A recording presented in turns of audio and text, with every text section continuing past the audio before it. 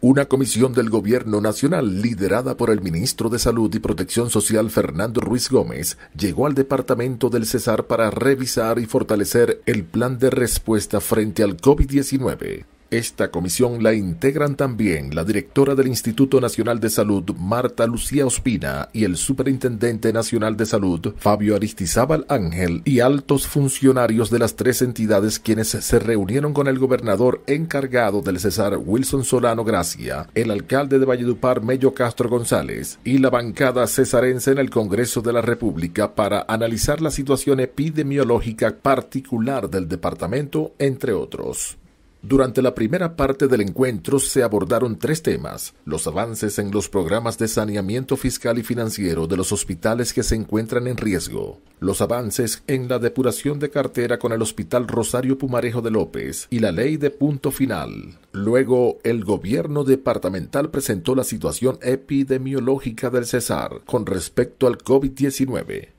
el ministro de Salud Fernando Ruiz Gómez y la directora del INS Marta Lucía Ospina destacaron el crecimiento del departamento del Cesar en cuanto al procesamiento de pruebas diagnósticas de COVID-19, el cual pasó de un promedio diario de 14 muestras en el mes de marzo, cuando aún no se procesaban pruebas en el departamento, a un promedio de mil en las últimas semanas. Ambas autoridades insistieron en que es muy importante que se sostenga ese promedio, por lo que accedieron a la solicitud del gobierno del Cesar para fortalecer el equipo del Laboratorio de Salud Pública. La directora del INS anunció el envío de un robot de extracción automatizada para fortalecer y aumentar la capacidad diagnóstica del Laboratorio de Salud Pública, así como la dotación de elementos de protección para el recurso humano del laboratorio. Luego la reunión se centró en la situación del Hospital Rosario Pumarejo de López, espacio en el que tuvieron participación la gerente de la S, delegados de los trabajadores y los congresistas.